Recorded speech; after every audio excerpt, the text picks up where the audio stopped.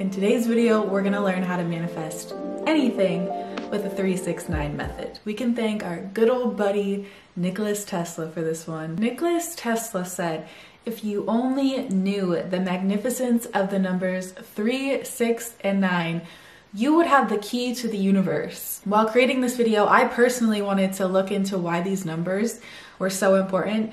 So I came across an article that really articulated the significance and magnificence of these numbers. I don't want to butcher it, so I'll leave a link down below for those of you that want to learn more about the mathematics behind the numbers 3, 6, and 9. But long story short, these three numbers make up the foundation of the universe. And we as humans have evolved or used it to develop a method that allows us to manifest our thoughts into the physical. This method has a lot of power behind it. Collectively, we have created an egregore or a thought cloud surrounding this method that makes it even more powerful. This technique went viral about a year ago, and because of that, we can now use the energy that is surrounding and infused within this technique from all of the people that have already tried it and have already had success with it. We can tap into the belief that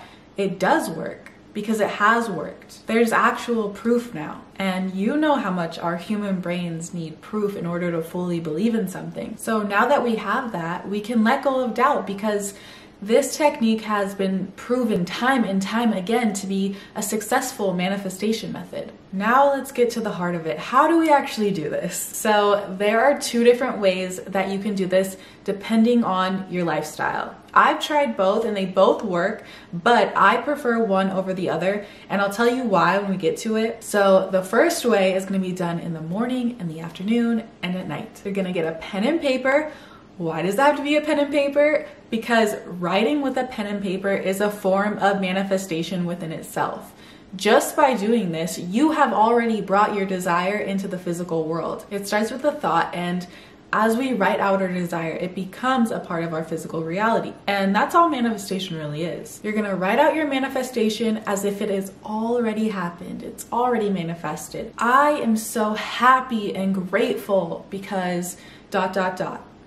I am feeling on top of the world and I could not be more grateful because dot dot dot. You need to get detailed with how you are truly feeling now that this has manifested for you. We're living in the end. It is super, super, super important that you are feeling these emotions as you are writing them. Emotion is energy in motion, and that is going to align us to our desire so we can manifest it that much faster. You are going to write the same sentence that evokes these emotions out of you three times in the morning, six times in the afternoon, and nine times at night. This is just a bonus tip, but something else that you could do is put on Hertz music that is aligned with whatever you're trying to manifest and take a couple minutes to visualize before and leave it on as you write out your sentences. Just search Hertz music on YouTube and find the right frequency that you want to tune into and you'll receive your manifestation like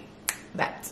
Now, the second way is my preferred way because I would always forget to write down my sentences in the afternoon. And I also like to do it in one sitting, either in the morning or at night, or sometimes both, whatever you feel called to do. You're gonna do everything that I stated before writing with emotion, living in the end. Put on music and visualize first if that's something that helps you get into alignment. But the outline of what you'll be writing is a little different. You're gonna write what you're manifesting in one word three times. Then you're gonna write a complete detailed sentence of what you want six times. And then you're gonna write how you feel now that you have it nine times. This worked a lot better for me because I felt like it was complete once I finished it. I didn't have to remember anything throughout the day and it allowed me to fully let go throughout the day, which brings me to my final step, which is to let go and allow. Once you're done writing with either method, it is now out of your hands. You did everything you could do. It is now the universe's turn to deliver.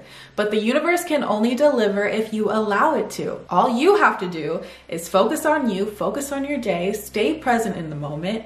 Practice gratitude to the universe for taking on the task of bringing this desire into your life. You don't need to worry about how, why, when, or where. That's not your concern, and it's not your problem. We're just grateful that it's happening. So that brings us to the end of this video.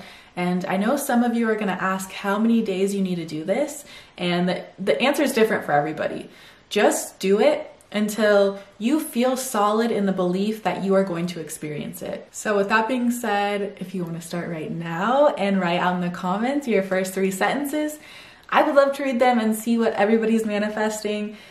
If not, that's okay too. Either way, I love you guys, and I will be back with another video very, very soon. Bye.